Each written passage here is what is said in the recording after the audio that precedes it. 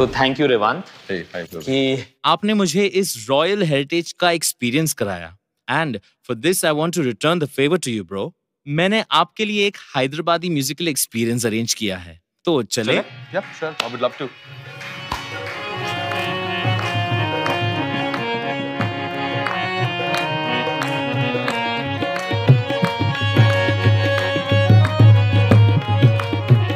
सबको नमस्कार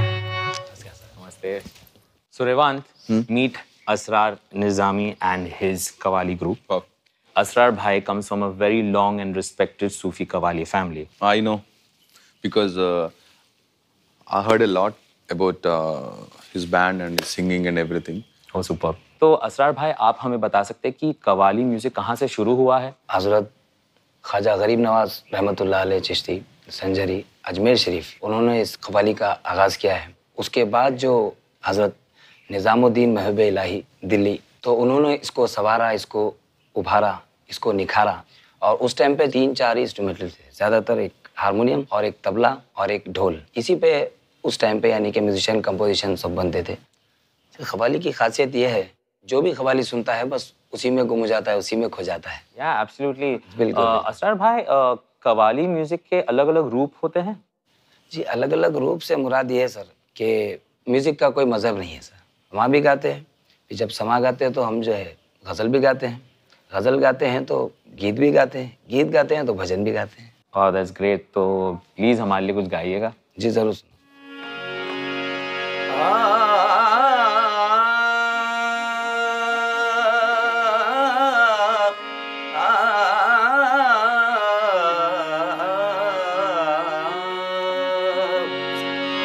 झोली भर दो झोली मेरी या मोहम्मद लौट कर